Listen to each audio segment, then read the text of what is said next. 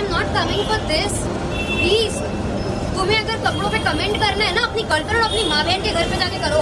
मेरे कपड़ों पे कोई कमेंट नहीं करेगा आज के बाद shit on a guy's dress Ranveer Singh जब कुछ पहन के आता है, तब मैंने नहीं सुना है तुम लोग के मुँह से कि आज ढंग के कपड़े पहन के आए हैं। Then why you commenting on a women's dress क्यों कमेंट कर रहे हो यार किसी लड़की के कपड़ों के ऊपर? मतलब this is so fucked up Oxford dictionary के मुताबिक, खातन के हुकूक के मानी हैं, वो हुकूक जो माशरती और कानूनी लिहाज से खातन को मर्द के बराबर दर्जा देते हैं। आज के इस तकरीर में मैं उन बातों पर तवज्जो नहीं दूँगा। मेरी तकरीर उन बातों पे मबनी नहीं है जो साइंसदार या गैर तजुर्बेकार एक्सपर्ट्स खातन के बारे में कहते हैं। आज की तकरीर मैं उन बातों पे करूँगा जो हकीकत और तजुर्बे से साबित हो सकती है।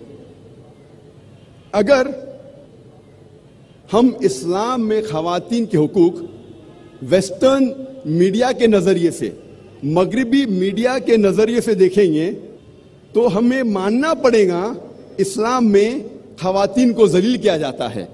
इस्लाम में खातन के साथ बर्ताव सही नहीं। अगर हम इस्लाम में खातन के हकूक वेस्टर्न मीडिया के नज़रिए से देखते हैं क्योंकि the western talk of women's liberalization is nothing but a disguised form of exploitation of a body, deprivation of honor, and degradation of a soul. ये मगरबी नारा आज़ादी निस्वा का हकीकत में औरतों के इज़्ज़त को लूटता है औरतों के आबरू को लूटता है औरतों को जलील करता है the western society claiming to uplift the women have actually degraded her to a status of mistresses of concubines of society butterflies, which are hidden behind the colorful screen of art and culture. ये मगरबी तहजीब जो कहती है कि खातन को हम ऊँचा मकाम दे रहे हैं, हकीकत में उन्हें एक तवाइफ बनाता है हकीकत में उन्हें रखेल बनाता है उन्हें बाज़ार की जीनत बनाता है आर्ट और कल्चर के रंगीन पर्दे के पीछे। इस्लाम ने, अल्हम्दुलिल्लाह 1400 साल पहले खातन को अपने हुकूक दिए। वो दौर अयामुल जहलिया कहलाता था। जब कुरान शरीफ नाजिल हुआ, वो दौर को कहते थे अयामुल जहलिया, द डेज़ ऑफ़ इग्नोरेंस। उस वक्त, अल्हम्दुलिल्लाह, इस्लाम ने खातन को अपने हुकूक दिए।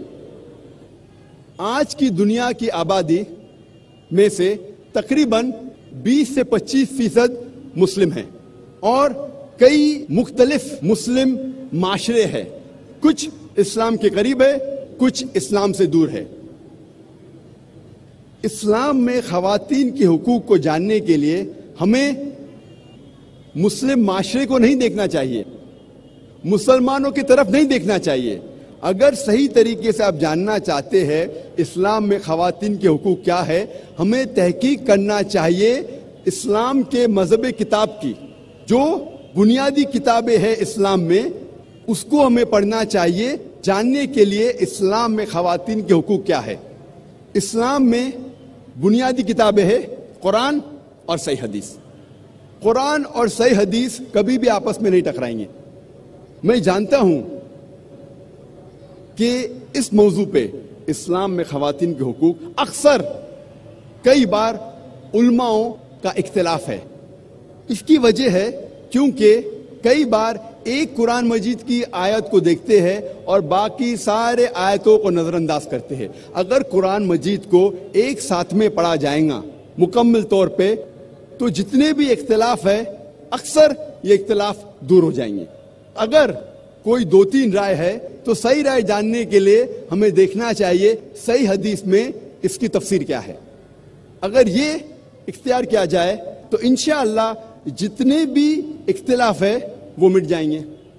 इस्लाम में मर्द और औरत का दर्जा बराबर है, लेकिन बराबर दर्जे का मतलब ये नहीं कि औरत और मर्द हु बहू है। औरत और मर्द का दर्जा इस्लाम में बराबर है, लेकिन उसका मतलब ये नहीं कि औरत और मर्द हु बहू यकसा है, क्योंकि अल्लाह सुबहाना ताला ने औरत और मर्द को फिजियोलॉजिकली डिफरेंट बनाया है बायोलॉजिकली डिफरेंट बनाया है साइकोलॉजिकली डिफरेंट बनाया है फिजिकली डिफरेंट बनाया है। जिस्मानी तौर पे औरत और मर्द अलग है, जहनी तौर पे अलग है। डिपेंडिंग अपॉन द मेकअप जिस तरीके से अल्लाह सुबहाना तआला ने मर्द और औरत को अलग तरीके से बनाया है, उसी तरीके से उनका रोल जो है, वो अलायदा है डिफरेंट है। आज की इस तकरीर इस्लाम में खातन के हकूक को मैंने छह हिस्सों में बांटा है। इस्लाम में खातन के रूहानी हकूक, इस्लाम में खातन के माशी हकूक, इस्लाम में खातन के माशरती हकूक इस्लाम में खातन के तालीमी हकूक, इस्लाम में खातन के कानूनी हकूक और इस्लाम में खातन के सियासी हकूक।